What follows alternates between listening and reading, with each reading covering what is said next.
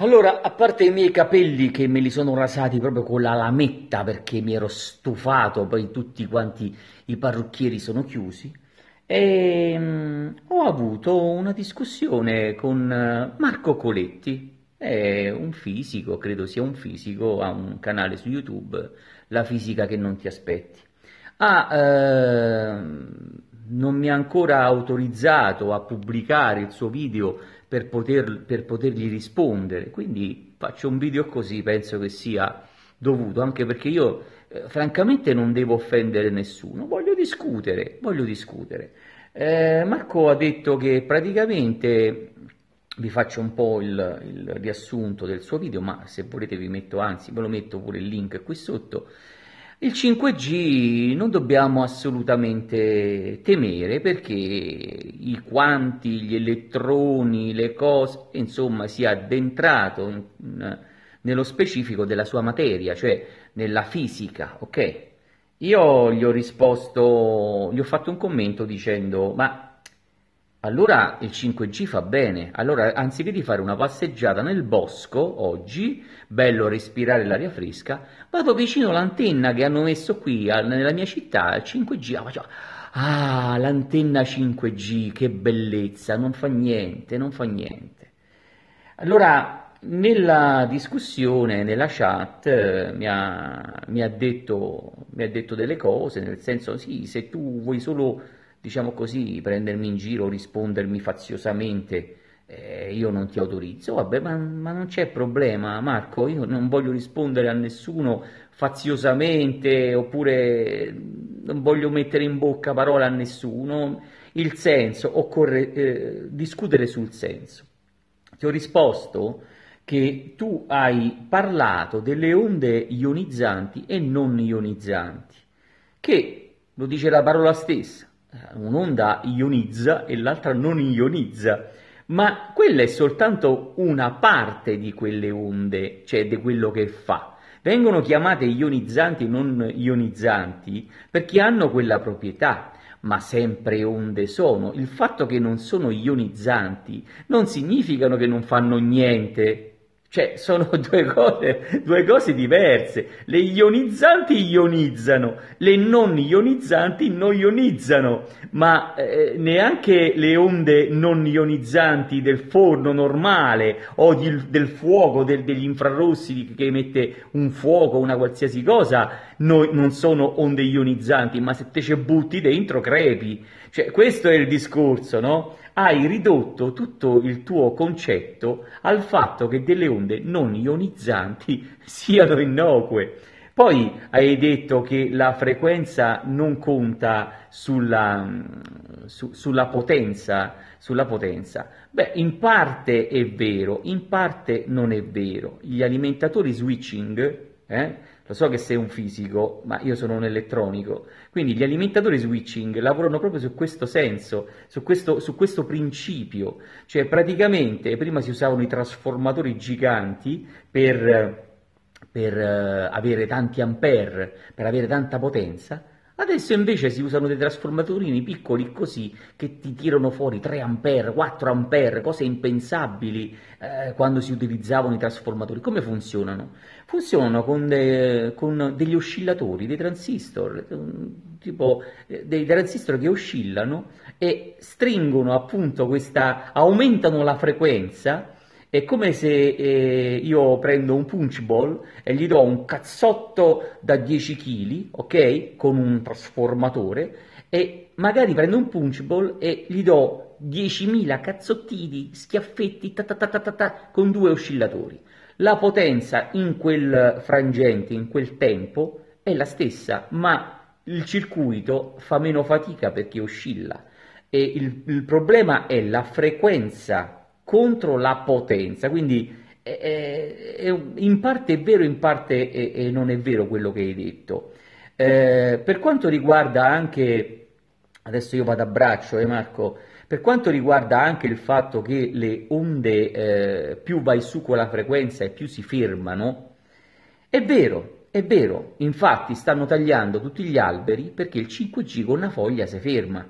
È chiaro che la foglia poi prende fuoco, no? Cioè adesso te la faccio eh, enorme. È chiaro che la foglia prende fuoco perché assorbe tutto, tutta la frequenza, tutta, tutta la portante l'assorbe, no? Perché basta un piccolo ostacolo che il 5G si ferma, ma come tu mi puoi insegnare, niente si crea e niente si distrugge, tutto si trasforma. Se una foglia ferma una, un'antenna 5G, questa energia dove va? Sulla superficie della foglia, quindi a questa foglia succede qualcosa, magari si scalderà, magari si scalderà soltanto al, dal punto di vista fisico, ma se noi prendiamo una forma di vita, ok? E ci sono esperimenti fatti di, di, di, blatte messe in una scatola con il 5G vicino, 5G tra virgolette, con un trasmettitore vicino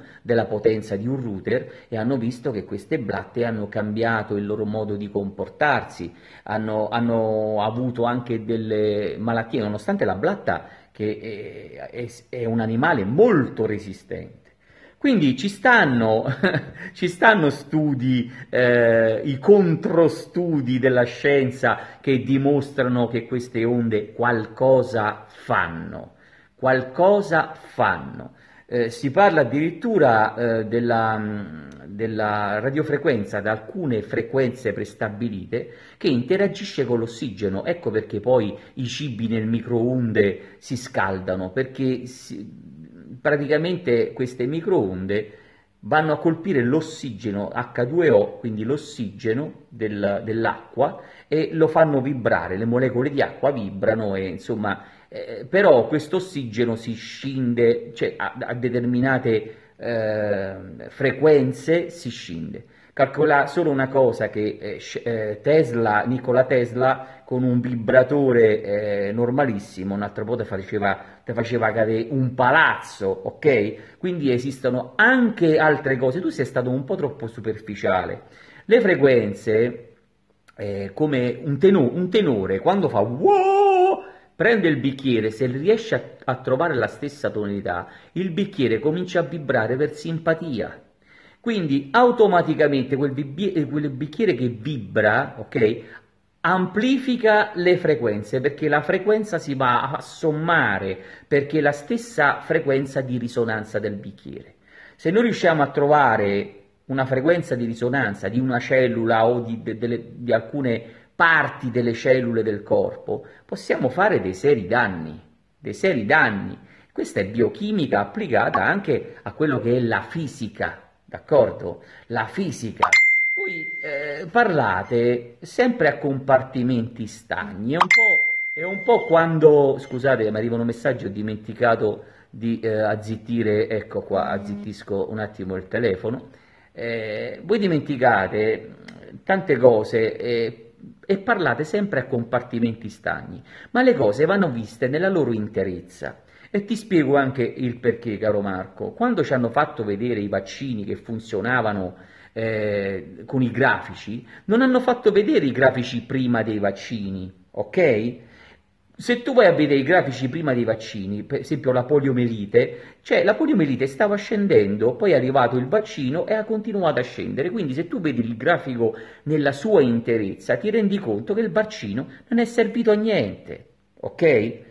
Quando certi eh, per personaggi che scrivono libri e dicono di essere virologi e dicono che la peste è un virus e lo mettono sul, sul titolo del libro, la peste non è un virus, è un batterio. Quindi questa scienza di cui eh, voi parlate, voglio, ecco adesso voglio mettere un, un muro perché io non mi sento della scienza io mi sento della scienza del buon senso. Bisogna attivare il cervello, non, a, non aprire i libri e basta. Bisogna attivare il cervello e quindi ti posso garantire che i libri li ho aperti anch'io e mi sono a mio, a mio tempo eh, mi sono documentato su tanti settori, ma poi il, la vera intelligenza sta nel collegare questi settori, cercare di capire dove sta l'inghippo, perché fatta la legge trovato l'inganno, ok? Se una persona ti vuole convincere di qualsiasi cosa, lo può fare, basta soltanto far leva sulla eh, ignoranza dell'altro, oppure omettere delle cose e sperare che l'altro non le, non le sa, ok? Sto facendo questo discorso che è un discorso che riguarda un po' tutto, perché Devo essere sincero, sei preparato per quello che riguarda la fisica, che non ti aspetti, tutte le belle cose, però eh, dovresti trattare le cose non a compartimenti stagni. Ti dico, ti faccio quest'ultimo esempio. Vedi, tu hai parlato di elettroni, Le, l'elettrone è alla base della, della, dell'elettricità, no? Dice della, eh, i, i, fili, le lampadine si accendono, si spengono. Tu hai parlato di elettroni. Beh, io non ho mai parlato di elettroni, però se ti dico una cosa, io ti dico, io posso progettare un, un, un microprocessore, un, un, circuito logico, le porte eh, logiche e altre cose. Tu ci riesci a fare una cosa del genere? Eppure hai parlato perfettamente di elettroni, hai parlato di questi elettroni come se fossero tuoi fratelli. Però tra l'elettrone che, che cammina in un circuito logico eh, non è campo tuo, quello è un campo di elettronica digitale. Allora, come vedi, sapere che cos'è perfettamente un elettrone non ti autorizza e non ti qualifica per progettare un circuito elettro- elettronico logico o, o, elettronico normale. Vabbè, l'elettronica normale è un po' più semplice, ma l'elettronica logica è un po' più complicata, un po' più complessa. Quindi, se io ti chiedessi di progettarmi un microprocessore che fa determinate cose, nonostante tu conosci gli elettroni a menadito e anche meglio di me, non saresti neanche paragonabile a me. Adesso io non lo so che grado di cultura hai sull'elettronica digitale, per carità, alzo le mani, però ti faccio capire un attimo come funziona un po' il mio modo di pensare. Il fatto che tu conosci bene gli elettroni non ti dà la qualifica per capire e per poter progettare un circuito di un computer, per poter progettare un computer. Allora, il fatto, questo perché te lo sto dicendo? Perché il fatto che tu parli di frequenze, di radiofrequenze, di onde elettromagnetiche ionizzanti o non ionizzanti, non ti qualifica nella biochimica, tu non puoi sapere gli effetti su un corpo umano o su un corpo vivente un, una, a livello biologico. Quindi tu a me sui commenti mi hai parlato sì, ma portami le fonti, ma tu questa è la domanda con cui voglio finire questo video. Ma tu che fonti biochimiche hai? Che, che, come fai a rapportare un apparecchio elettronico digitale alle, con, le onde, con, con le onde elettromagnetiche su un corpo biologico? Sei anche un biologo? Oh, allora, neanche io sono un biologo, però con un po' di eh, riflessione e di intelligenza Beh, voglio pure ammettere i miei limiti e dire aspetta, spettro, tu puoi arrivare fino a questo punto, però ci potrebbe stare quell'altro punto che tu non conosci, quindi ci vado cauto. Ecco dove sta il problema, ecco dove è il problema.